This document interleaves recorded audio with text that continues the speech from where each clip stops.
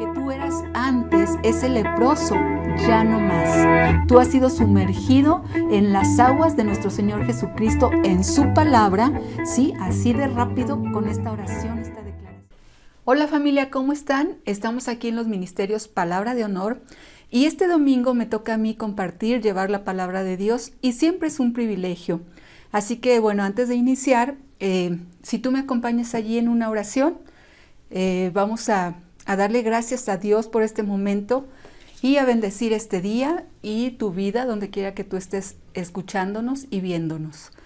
Amado Padre Celestial, yo te doy gracias porque tú me permites compartir tu palabra. Así que ahora Espíritu Santo, yo te pido que eh, todas las personas que nos escuchan, que, que ven, que escuchan este mensaje, Señor, tú abras ese entendimiento para que tomen la palabra, sí, y la hagan parte de su vida. Yo los bendigo donde quiera que estén, en el nombre de Cristo Jesús. Amén. Y bueno, vamos a, compartir esta palabra. Ay, se llama ah, ¿Quién soy y para qué estoy aquí? Sí, es parte de nuestra identidad como hijos de Dios. Sí, y quiero que me acompañes, si tú puedes, ahí en el libro Segunda de Reyes, en el capítulo 6, fíjate, en el versículo 24. Bueno, quiero que sepas que eh, el pueblo de Israel, ¿verdad? Pues durante mucho tiempo estuvo en guerra y, casi siempre ha estado en, guerra.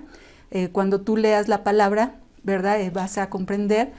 Ahí te dejo para que leas todo el capítulo 6 de Segunda de Reyes y tú te vas a dar cuenta de cómo y lo que provoca la guerra.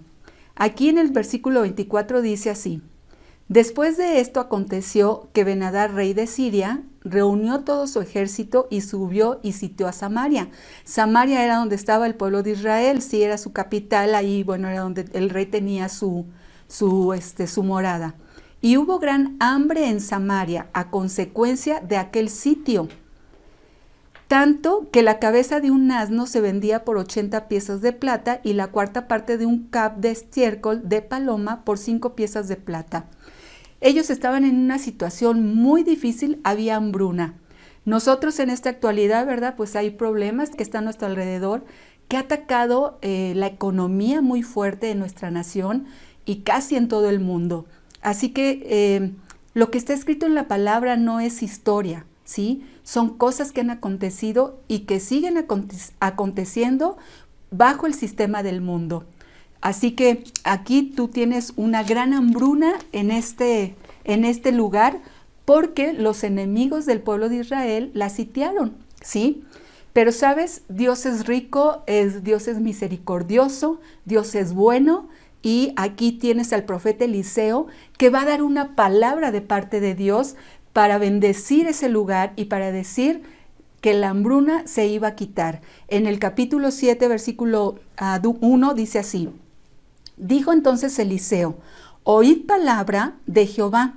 Así dijo Jehová, mañana a estas horas valdrá el sed de flor de harina un ciclo y dos sed de cebada un ciclo a la puerta de Samaria. ¿Qué te estaba diciendo? Sí, que la economía, ¿verdad? Iba a ser eh, grandiosa para todos, que las cosas, esa hambruna que había, se iba a quitar y esas ventanas de los cielos iban a estar abiertas. ¿Sabes? Es una palabra que Dios habló, sí, por medio de un hijo de Dios, bueno, por medio de un profeta, pero aquí en la actualidad nosotros tenemos palabra dada por Dios y los que hemos recibido a Jesucristo como nuestro Señor y Salvador, sabemos la bendición que hay para sus hijos, sabemos la bendición que hay, que ha sido dada para ti y para mí. Pero también es muy cierto que en otro tiempo, ¿verdad? Antes de recibir a Jesucristo como nuestro Señor, pues también eh, estas tribulaciones y estas aflicciones, esta hambruna nos perseguía el enemigo, aunque todavía nos persigue, pero hacía estragos con nosotros. Así que yo te voy a poner este ejemplo, porque más adelante dice en el versículo 3 que había a la entrada de la puerta cuatro hombres leprosos, los cuales dijeron el uno al otro, ¿Para qué nos estamos aquí hasta que muramos? Mira, estos hombres leprosos a mí me recordaron, eh, antes de que yo recibiera a Jesucristo como nuestro Señor y Salvador, mi vida era un caos. Yo no sé si la tuya, ¿verdad? O si tú que me estás escuchando a lo mejor todavía no has hecho al Señor Jesucristo como Señor de tu vida.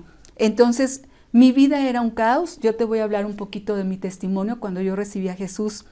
Yo tenía muchos conflictos, muchos problemas, estaba atravesando por una situación muy fuerte en mi vida, ¿sí? Y, y yo me imaginé así como estos leprosos. Ya había una palabra dada de parte de Dios, ¿verdad? Que a través de Jesucristo tú recibes bendición, pero yo no la había escuchado, yo no sabía de Jesús, ¿sí? Y yo era como este leproso. Estaba sentada allí, ¿verdad? A las puertas, ¿sí? Y yo decía, ¿Para qué estoy aquí? Mejor hasta que yo me muera. Y fíjate lo que dice el capítulo, el versículo 4. Si tratamos de entrar en la ciudad por el hambre que hay en la ciudad, moriremos en ella. Y si nos quedamos aquí, también moriremos. Vamos pues ahora y pasemos al campamento de los sirios. Si ellos nos dieran la vida, viviremos. Y si nos dieran la muerte, moriremos. ¿A qué voy? Cuando tú estás en una situación muy confundida en tu vida, por los problemas que tú has tenido, ¿verdad? Durante tu caminar, ¿sí? Hay muchas veces que te sientas y dices, bueno, ya no hay remedio, ¿sí? Si yo estoy aquí metida en este problema, pues aquí me voy a ahogar, ¿sí? Ellos dijeron, eh, pues vamos a buscar otra solución. Dijeron, vamos a ver el campamento de los sirios. Si nos perdonan la vida, bueno. Sabes, cuando eh, yo escuché la palabra Jesús fue porque una persona eh, donde yo estaba estudiando, que era mi director, él me dijo, ¿sabes qué, Sandra? Hay alguien que te ama y se llama Jesús.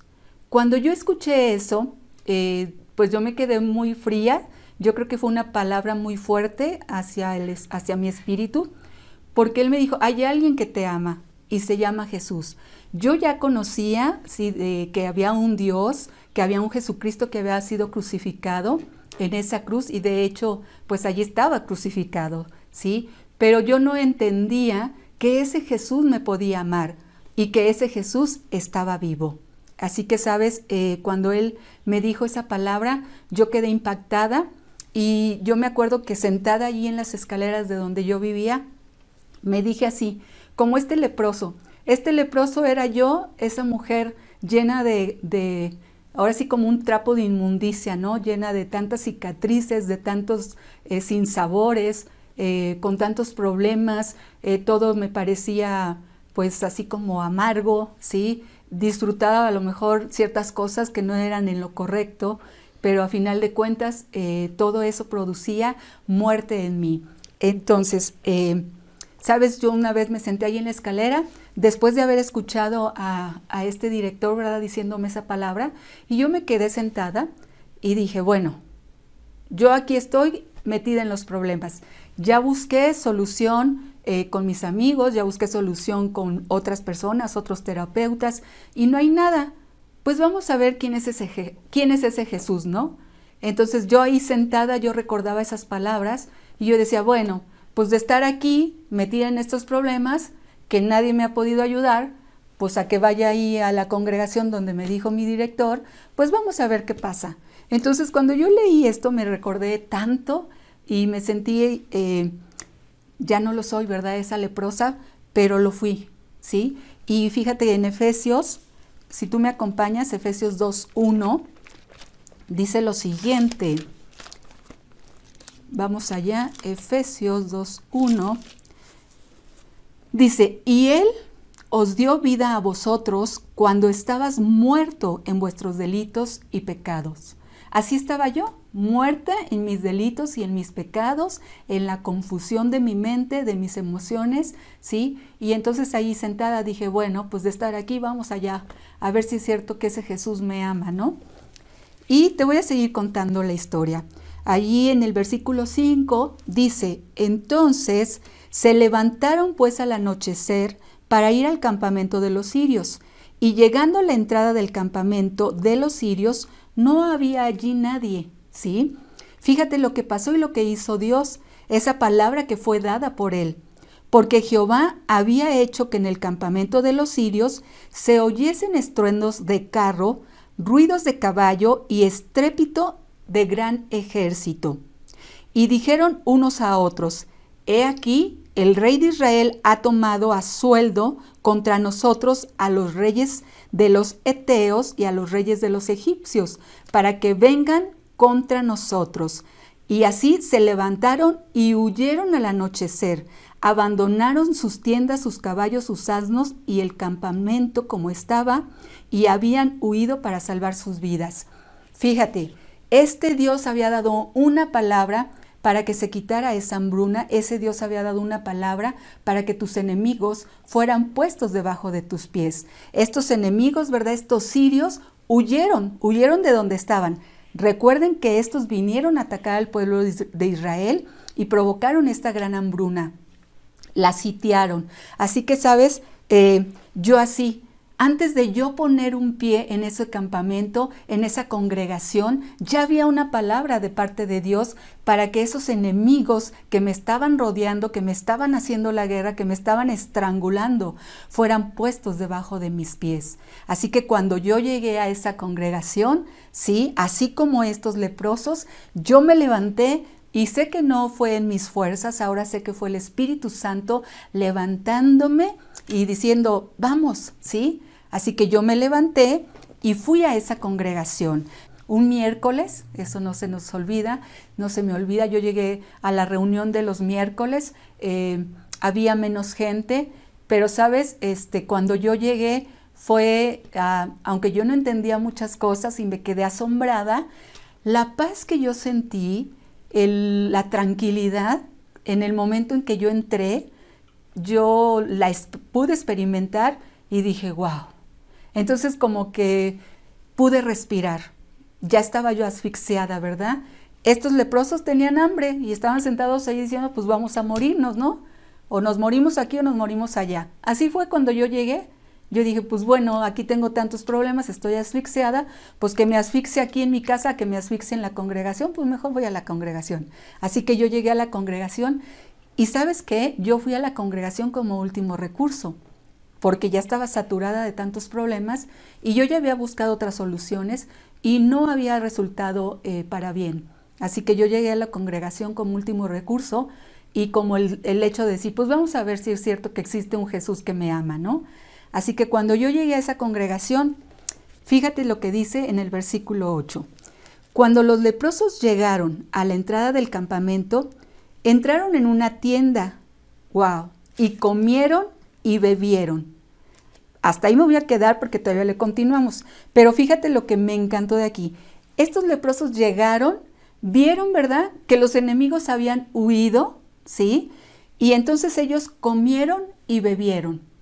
Cuando yo llegué a la congregación, yo no entendía, pero sabes, ahora sé que cuando yo pasé ese lugar, sí yo pude sentir esa tranquilidad y esa paz, porque los enemigos, gracias a Jesucristo mi Señor, ya habían sido puestos debajo de mis pies.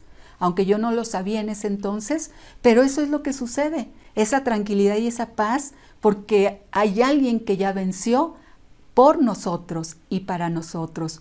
Y dice que estos leprosos comieron y bebieron. ¿Sabes? Tú y yo hemos comido, ¿sí? Del Señor Jesucristo. Hemos comido el pan y hemos bebido el vino.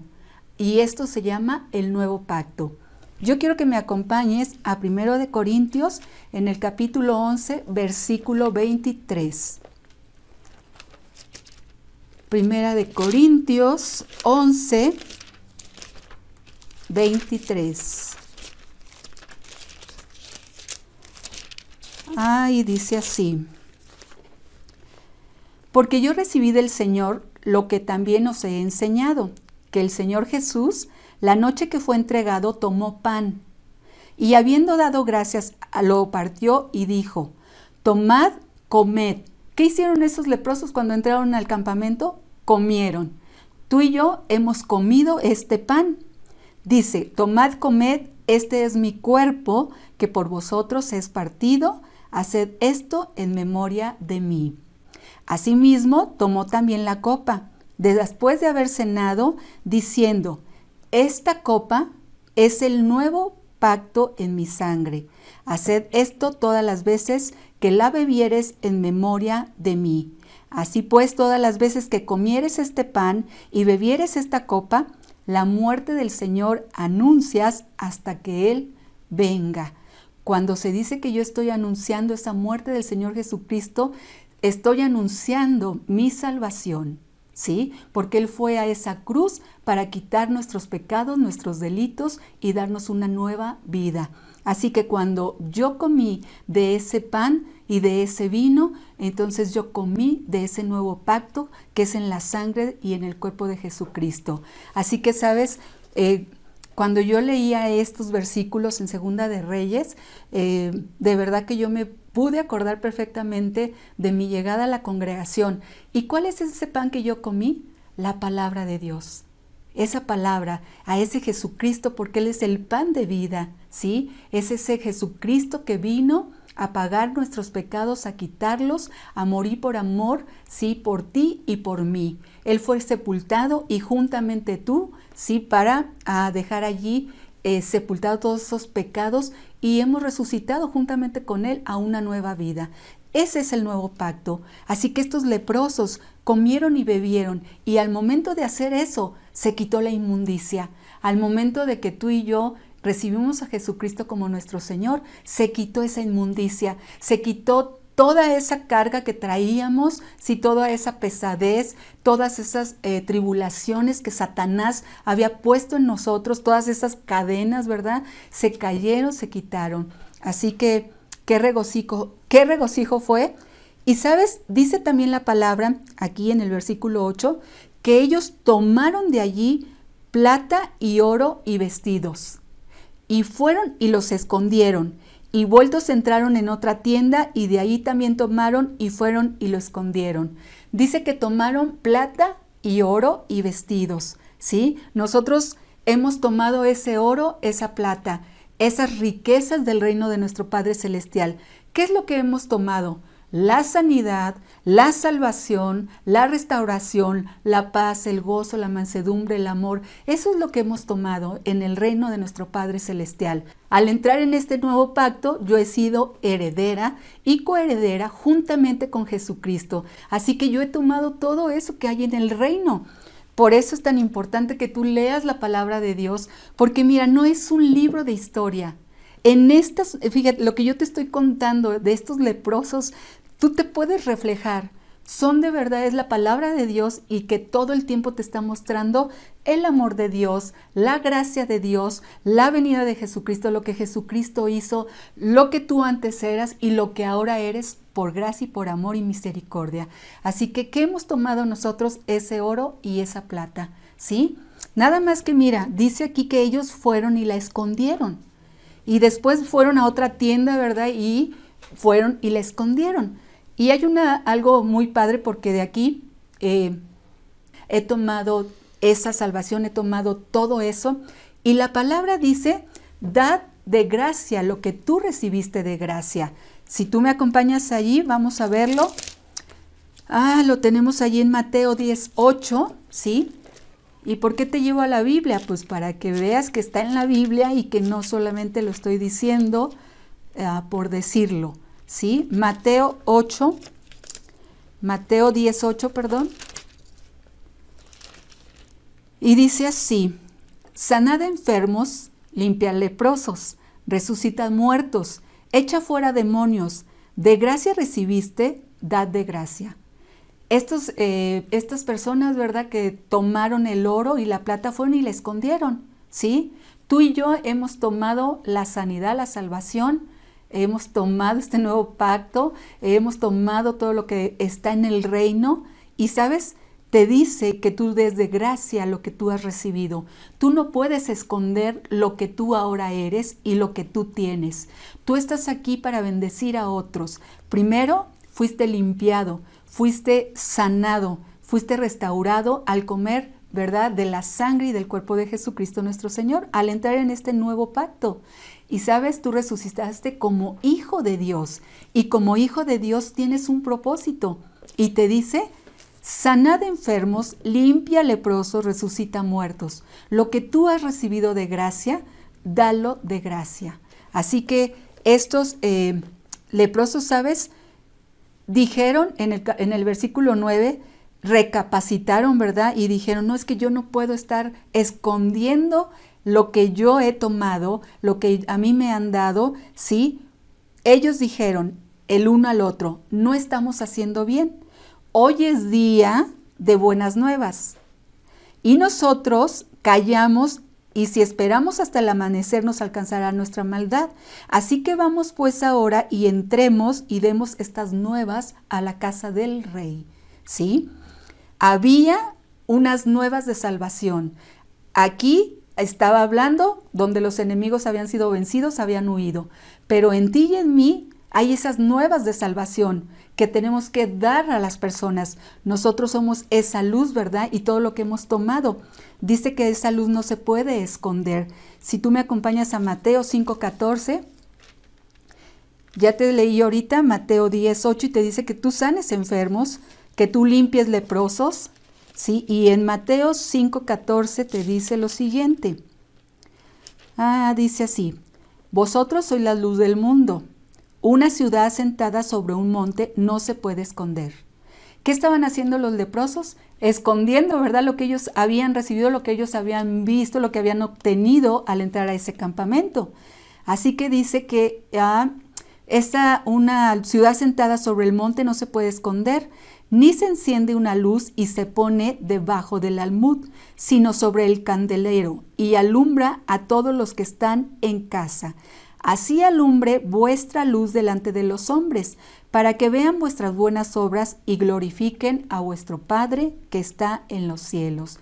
Tú y yo somos esa luz, tú y yo hemos tomado todos los beneficios del reino y sabes, no podemos esconder. Así como estos leprosos estaban escondiendo el oro y la plata, nosotros no podemos esconderlo. ¿Y cómo lo escondemos? Al quedarnos callados cuando son tiempos de anunciar, ¿verdad? Las buenas nuevas, de anunciar a Jesucristo que hay un Salvador, que hay alguien que te ama. Así como en algún momento a mí me, me dijeron, ¿sabes qué? Hay alguien que te, llama, que te ama y se llama Jesús. Con esas palabras me impactaron. Así que tú y yo somos esta bendición, somos esta sal, somos esta luz y estamos para alumbrar a aquellos que lo necesitan. Hay tiempos eh, muy difíciles por los cuales estamos pasando y sabes, eh, van a continuar, son tiempos que continúan, ¿sí? Y, y, no porque nosotros queramos o lo estemos declarando, no, sino porque lo dice la palabra, que se incrementarán esos tiempos violentos, esos males, ¿verdad? Pero sabes, no para los hijos de Dios, los hijos de Dios estamos resguardados. Nuestra vida está resguardada juntamente con Jesucristo. Nosotros pertenecemos a esos lugares celestiales. Es muy cierto, estamos aquí en este mundo, pero no pertenecemos al mundo. Nosotros hemos sido puestos en esa roca firme que es Jesucristo y tenemos un propósito. Somos la luz y necesitamos anunciar la palabra de Dios. Necesitamos anunciarle a las personas que hay un Jesucristo vivo que nos ama, que les ama. Y que es muy cierto porque de verdad los que tenemos eh, ya algún tiempo en el Evangelio, eh, creyendo verdad en nuestro Señor Jesucristo, caminando, yendo a la congregación, podemos dar testimonio de que ese Jesús es verdadero, de que ese Dios es verdadero, es bueno, es un Padre misericordioso, ¿sí? Y que nos amó tanto que prefirió entregar a Jesucristo por amor a mí. Es verdad la palabra de Dios, es verdad y lo podemos eh, demostrar con nuestro testimonio. Eh, yo he vivido eh, muchas, muchas cosas a partir de que yo recibí a Jesucristo, la restauración, la paz. ¿Sabes lo que es llegar a un lugar y sentirte tranquilo? ¿Sabes lo que es que se te abran las puertas de los cielos, las ventanas de los cielos ante estas circunstancias como están? Y sabes una cosa, yo en este tiempo he experimentado la bondad, la misericordia, el sustento de parte de Dios de una manera impresionante. ¿Ya lo había yo experimentado? Sí, pero como ahora, de verdad que yo estoy asombrada. Yo te voy a contar un testimonio. Bueno, ya van dos, ¿verdad? Pero quiero contarte, el 31 de diciembre, sí, del año que pasó, eh, yo recibí un regalo de parte de Dios. Y lo que más me sorprende, claro, yo ya había estado orando por eso, ya lo había estado decretando en mi vida, pero sabes, lo que más me agradó es cómo en medio de una eh, desesperación económica, ¿verdad? Que el mundo está viviendo, cómo los hijos de Dios podemos tener paz, cómo los hijos de Dios podemos recibir, ¿sí? Este, de parte de Él, porque es de parte de Él. Así que yo el 31 de diciembre recibí un carro, un carro, sí, que yo no tuve que poner ni un peso, ¿sí? Fue algo que yo ya le había estado pidiendo a Dios y ese día, sabes, a mí me llamaron y me dijeron, tengo un carro de parte de Dios para usted. Yo no lo dudé ni tantito. Yo me puse gozosa, feliz, lloré de la alegría, ¿sí? Y, de verdad que yo amo mi carro, ¿sí? Este, porque ha sido un regalo de parte de Dios. Y no solamente eso, en estos dos años de verdad que hemos sido sustentados por Él. Aquí en la Biblia hay una referencia de cómo un profeta fue sustentado por los cuervos. Sí, ellos llevaban el alimento a este profeta en un tiempo de necesidad y de hambre. Así que así es. Esta es la palabra de Dios, es verdad la palabra de Dios, es, es palpable, ¿me entiendes? Es palpable esta palabra, porque Él nos ha sustentado, estos dos años nos ha sustentado, si no nos ha faltado nada, eh, vienen personas y nos traen comida a nuestra, a nuestra puerta, que de verdad que yo digo, qué impresionante, no crees que vamos y la buscamos, no, nos la traen a nuestra puerta. Y yo estoy tan agradecida eh, con Dios eh, por eso y porque yo sé que es verdadero, es real. Eh, y yo creo que así como tú este, y yo podemos dar testimonio de muchas cosas, de cómo Dios nos ha cubierto, nos, nos ha cuidado. Por eso es tan importante saber, ¿sí? que hay mucha gente que nos necesita.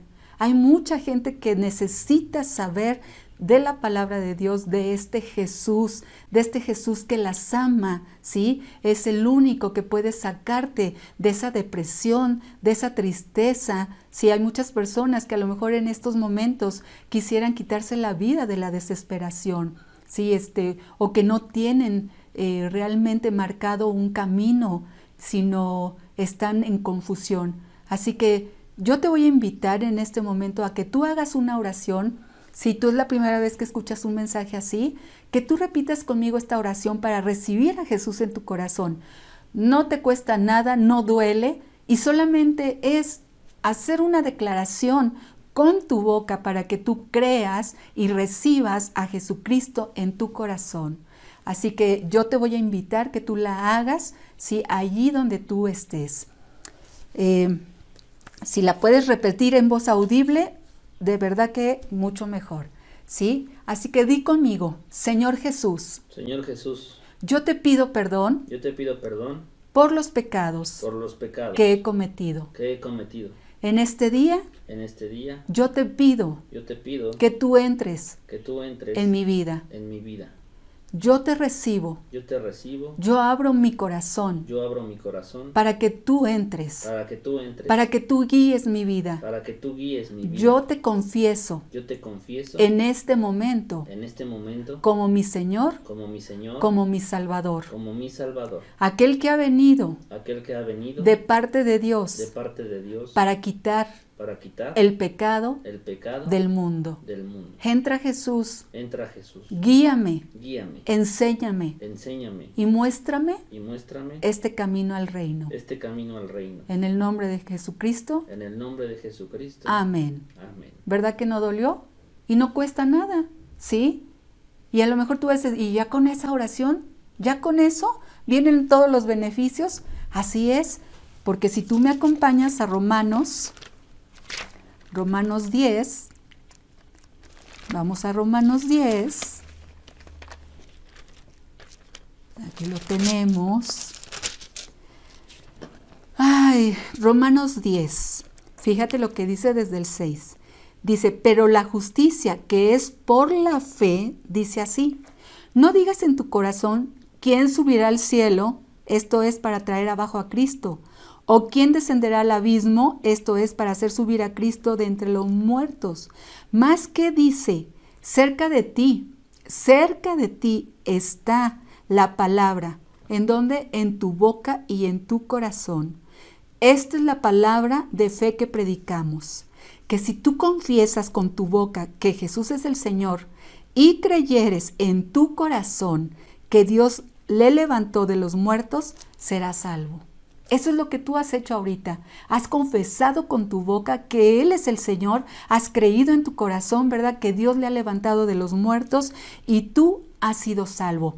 ¿Por qué? Con el corazón se cree para justicia, pero con la boca se confiesa para salvación. Por eso hacemos esta declaración.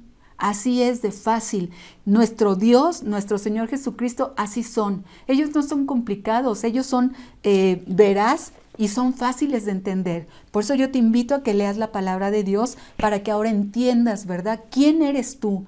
¿Quién eres tú? A lo mejor antes, como yo, ¿verdad? Me sentía y era esa leprosa que estaba muerta en mis delitos y pecados, pero sabes, Jesucristo me rescató, me llevó, ¿verdad? Él hasta esa congregación donde yo le recibí como Señor y Salvador y yo hice una oración como esta que tú hiciste. Y sabes, mi vida fue transformada porque yo entré a este nuevo pacto al comer su palabra, al comer su sangre, sí, yo lo creí.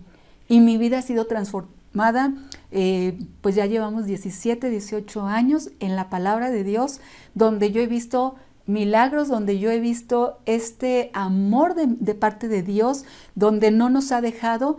Dice que tendremos tribulaciones, muchas son las tribulaciones del justo, ¿sí? Mas de todas nuestro Padre Celestial nos librará.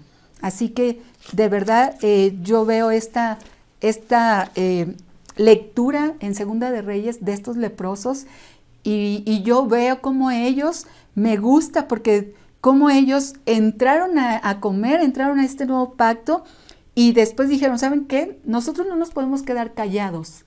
Es tiempo y es día de dar las buenas nuevas. Así que ellos fueron y hablaron. Y la palabra te dice, eh, creí, por lo cual hablé. Eso está en 2 de Corintios 4:13. Yo creí la palabra de Dios, por lo cual hablo. No es cierto que yo tengo que quedarme callada, ¿verdad? Ya recibí a Jesucristo, qué bonita, solo voy a la congre, recibo enseñanza, la atesoro aquí y ahí se queda. No es así. Yo soy una hija de Dios nacida de nuevo y toda esa enseñanza que yo he recibido, todo lo que yo he recibido a través de Jesucristo nuestro Señor, yo lo tengo que compartir, yo lo tengo que dar, ¿sí? Eh, ¿Cómo? Pues nosotros lo hacemos a través de estas grabaciones, de estos mensajes. Eh, otras personas lo hacemos yendo a las calles, otras este, llevando despensas. Hay muchas maneras en que lo estamos haciendo para que tú recibas la palabra de Dios. ¿Sí? Y si tú ya eres hijo, bueno, estas enseñanzas las puedas atesorar, pero no se queden allí eh, debajo de, de la cama, ¿verdad? Porque tú eres luz, tú brillas. Y desde el momento en que tú sales a cualquier lugar, tú eres luz, tú eres luz que disipa las tinieblas. Disipas las tinieblas de tu vida, disipas las tinieblas de tu familia, de los que están a tu alrededor y del mundo entero. Así que no te quedes callado. Tú tienes un propósito y estás aquí, sí, para expander el reino de los cielos, de la manera en que el Señor Jesús te lo muestre. Pero estás aquí para expandirlo, para hablar su palabra a los tuyos, a los que están alrededor, a tus vecinos, a tu ciudad, a tu estado y a toda la República Mexicana. Así que somos esta luz y estamos aquí para bendecir. Yo quiero que me acompañes a Primera de Pedro en el capítulo 2 y dice así. Primera de Pedro, capítulo 2. Está casi al final de tu Biblia, ¿sí? Primera de Pedro, capítulo 2, versículo 9. Fíjate quién eres tú y yo. Y si tú acabas de hacer esa declaración de fe, acabas de, recibir a Jesucristo como tu Señor y salvación, Salvador, has entrado a este nuevo pacto. Ahora eres un hijo de Dios nacido de nuevo. ¿Y por qué decimos nacido de nuevo? Porque es este nuevo pacto, este nuevo nacimiento que ahora tú has recibido. ¿Sí? Lo que tú eras antes, ese leproso, ya no más. Tú has sido sumergido en las aguas de nuestro Señor Jesucristo, en su palabra, ¿sí? Así de rápido con esta oración, esta declaración, y has recibido este derecho de ser hijo de Dios, nacido de nuevo. Y dice, mas vosotros sois linaje escogido. Este eres tú, esta soy yo. Real sacerdocio, nación santa. Tú eres un pueblo, un hijo adquirido por Dios para. Aquí hay un propósito. Y este versículo encierra eh, todo lo que yo te he platicado. ¿Por qué? Porque eh, antes, ¿verdad? No pertenecías a la familia de Dios, estabas muerto en tus delitos y pecados, pero al momento de recibir a Jesucristo, de creer, tú entras en este nuevo pacto y ahora eres un hijo. Tienes identidad de hijo de Dios, a imagen y semejanza de Jesucristo. Así que entonces, este versículo encierra tu identidad. ¿Quién tú eres? Y la otra parte de tu identidad, ¿para qué estás aquí? Dice, para que anuncies las virtudes de aquel que te llamó de las tinieblas a su luz admirable. En otro tiempo dice que tú no eras pueblo, pero ahora eres pueblo de Dios. En otro tiempo no habías alcanzado misericordia, pero ahora habéis alcanzado esa misericordia. Así que aquí lo tienes.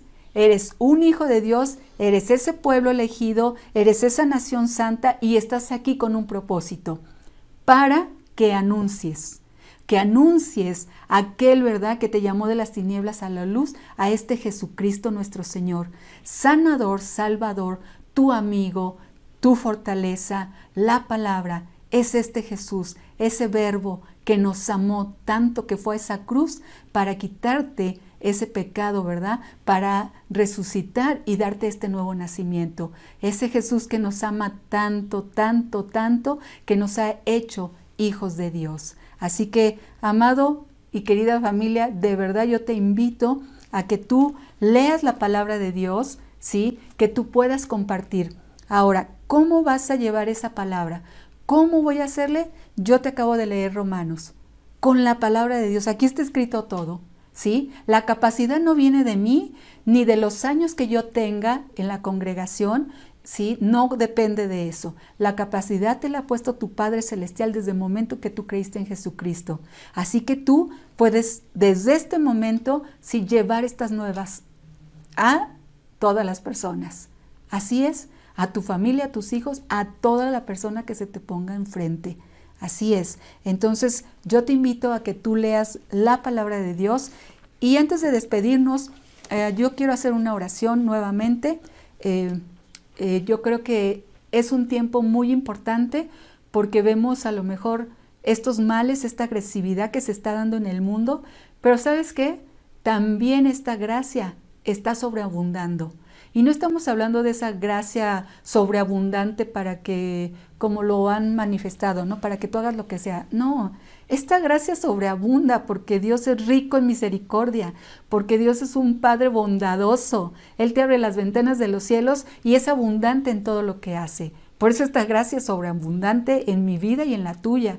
Y sabes que yo también voy a declarar que esta gracia sobreabundante está en ti, ¿sí? Y es sobreabundante. La, la emoción y el, el cómo tú te vas a aferrar a la palabra de Dios. Sí, yo sé que no andamos nosotros por emociones ni por vista, pero yo lo digo así, porque al leer la palabra de Dios es un gusto, es un placer, es un honor estar leyendo la palabra de Dios y es con lo que nosotros vamos a dar a otras personas, vamos a hablar de Jesucristo y vamos a llevar este mensaje de las buenas nuevas. Ok, vamos a orar. Cierra tus ojos y si quieres repetir conmigo, si no, escucha, ¿sí? Amado Padre Celestial, te doy gracias por la vida de aquellos que nos están viendo. Gracias Señor por a los que están escuchando tu palabra. Yo declaro que en estos tiempos, Padre, incrementa esta hambre de leer tu palabra, de entenderla, ¿sí? Gracias, Padre, porque yo lo puedo ver, esta manifestación, este avivamiento en tu palabra, en saber quiénes somos y para qué estamos aquí.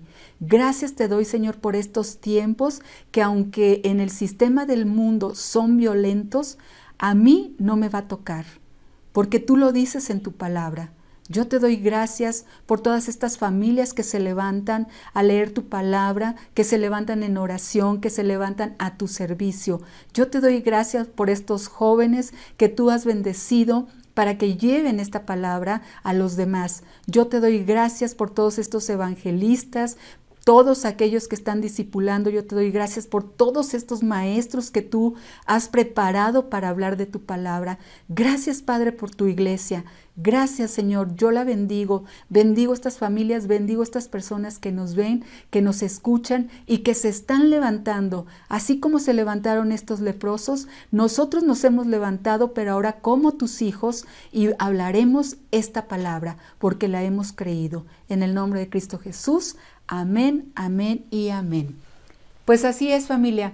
Yo te invito a que tú sigas viendo estos, eh, estas prédicas. Si también subimos eh, cápsulas de campeones que son eh, la palabra de Dios, son mensajes muy cortitos que son preparados para tu vida diaria. Ahí tú lo puedes encontrar en los ministerios palabra de honor.org. ¿sí? Todo lo que hacemos lo hacemos para bendecir tu vida y lo hacemos de acuerdo a la palabra de Dios. Así que yo te invito a que tú descargues también, sabes, el programa de la lectura de la Biblia, también lo tenemos ahí en, en la página de Palabra de Honor y pues estamos constantemente llevando el mensaje a las vidas de las personas. Yo los bendiga donde quiera que estén y nos vemos hasta la siguiente prédica.